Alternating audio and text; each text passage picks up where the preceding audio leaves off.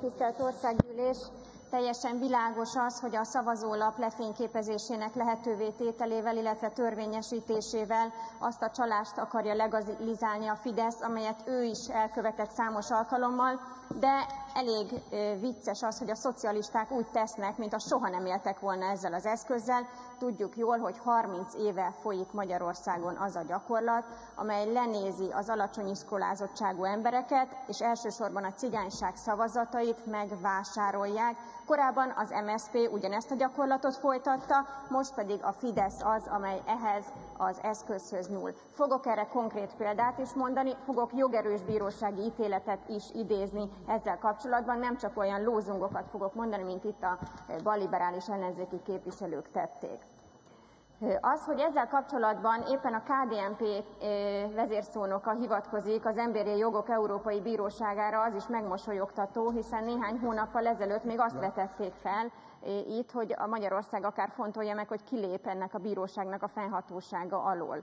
És a Mi Hazánk mozgalom ezt egyébként támogatná, hogy ezt megtegye Magyarország, hiszen itt olyan a börtönbiznisz ítéleteit, börtönbizniszhez kapcsolódó ítéleteket hoztak meg ezen a bíróságon Magyarországgal szemben, ami egész egyszerűen vérlázító.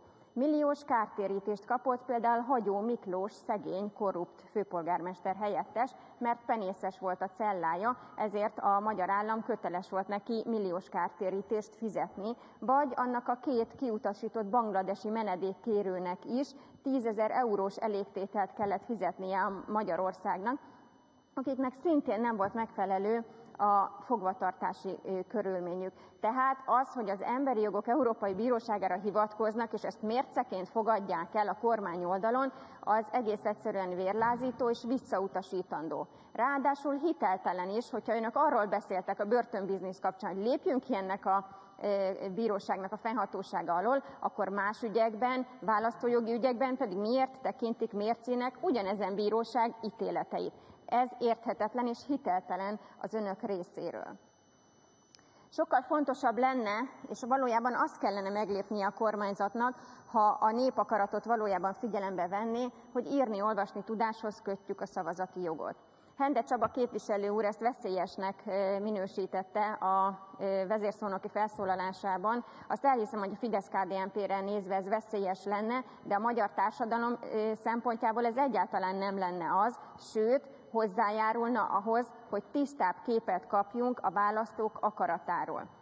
Azt, hogy valamit Magyarországon egyébként alapfokú iskolai végzettséghez kössünk, azt a magyar jogrendszerben éppen önök hozták be 2010-ben, amikor a jogosítvány szerzés feltételéül szabták egy törvényjavaslatban, hogy alapfokú iskolai végzettséggel kell, rendelni, ezzel kell rendelkeznie annak, aki gépjármű vezetői engedélyt szerezhet magának. Tehát a magyar jogrendszertől ez a megoldás egyáltalán nem idegen sokkal jobban kifejezni a választóknak az akaratát, hogyha nem szavazatvásárlással módosítanák az eredményt, mert van Magyarországon olyan település, nem régiben jártam ott személyesen is, Heves megyében, Kompolton, ahol szavazatvásárlás miatt konkrétan más lett a polgármester, mint aki enélkül lett volna.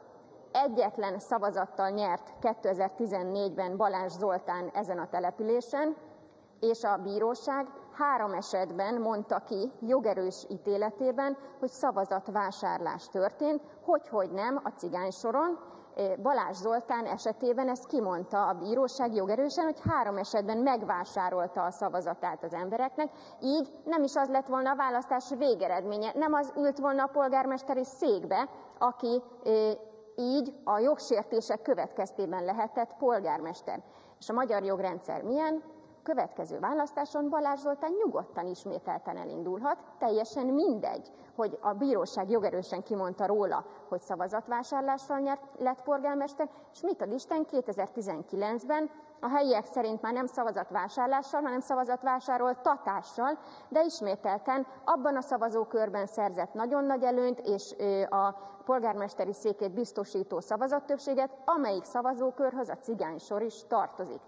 Érdekes módon ezt az elképesztő ordító igazságtalanságot nem akarják kezelni, sőt, törvényesítik, sőt, ellenőr, könnyebben ellenőrizhetővé teszik azt, hogy az egyes állampolgárok, akiket, akik szavaznak, vagy akiket szavaztatnak, ők kire húzzák be az X-et.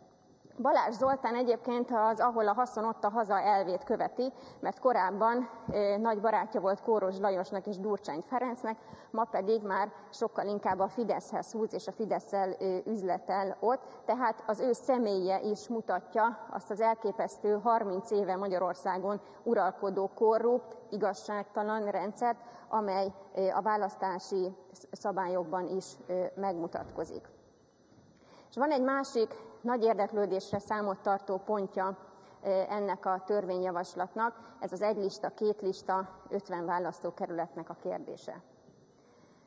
Itt, teljesen nyilvánvaló, hogy a Fidesz hülyének néz mindenkit, amikor azt mondja, hogy ez a kamupártok ellen hozza. Nyilvánvalóan nem a 2000 meg 3000 szavazatot kapó kamupártok bántják a Fidesznek a, a, az igazságérzetét, vagy a, vagy a választási esélyeit, hanem teljesen egyértelmű, hogy az ellenzéki lista állítás az, ami miatt ezt a javaslatot behozták ide. De az ellenzék részéről nem értem, hogy mi a problémájuk. Tehát senki nem tartott sem a Jobbik, sem az LNP, sem a Momentum fejéhez pisztolyt, például a 2019-es önkormányzati választáson, ahol önök közös listán már elindultak a DK-val több megyében. Több megyében a Jobbik logója, a DK és az MSZP logója között szerepelt a szavazólapon közös listán. Semmilyen, semmilyen választójogi jogszabály nem volt, ami erre kényszerítette volna akár a Jobbikot, akár a Momentumot, akár az LMP-t. Semmilyen. És mégis azt választották, hogy igen, közös listát állítanak több megyében, a szocikkal is, meg Gyurcsányjal is. Tehát teljesen nyilvánvaló, hogy a Jobbikot nem zavarja, hogyha őnekik közös listán kell elindulniuk Gyurcsány Ferenc pártjával, hiszen már többször megtették. De most eljátszák itt azt, eljátszák itt azt, hogy a nyilvánosság előtt meg sem fogják annak a kezét, akivel utána egyébként házasságra készülnek, hiszen önök közösen akarják kormányozni az országot Gyurcsány Ferenc pártjával. Miközben már régóta mindenki tudja egyébként, hogy viszonyuk van. És az a döbbenetes, képviselőtársaim, hogy kiadnak olyan nyilatkozatot, hogy közös miniszterelnök jelöltet fognak állítani, és az előválasztás végeredményét el fogják fogadni.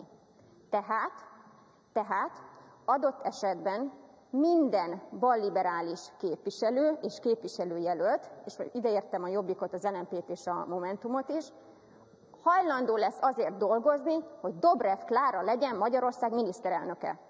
Önöknek ez nem probléma. Önöknek ez nem probléma. Tehát mondjuk ki, ezt deklaráltan egy közleményben közösen tudatták. Hát innentől kezdve ne játsszák el a gyurcsányfóbiát, ne játsszák el azt, hogy fontos az, hogy egyébként Gyurcsány Ferenc a kormányzása idején mit csinált, vagy hogy azok az értékek, amik ellen egyébként 2006-ban még többen önök közül személyesen is küzdöttek, azok még mindig jelentenek bármit is önöknek. De az önkormányzati választás is egy ilyen ö, helyzet volt, és az önkormányzatok jelenlegi működésében Önök olyan polgármestereket támogatnak, akik DK-s politikus bűnözőknek milliós összegeket fizetnek ki havonta. Hát Újbudán volt erről szavazás, hogy Ceglédi Csaba, DK-s politikus bűnöző szerződését szüntessék meg. És ellene szavazott a Jobbik, az LMP vagy a Momentum? Nem. De mondok egy másik példát. Soproni Tamás, 6. kerületi Terézvárosi polgármester betiltotta a Mi Hazánk mozgalom közterületen felállítandó keresztjét.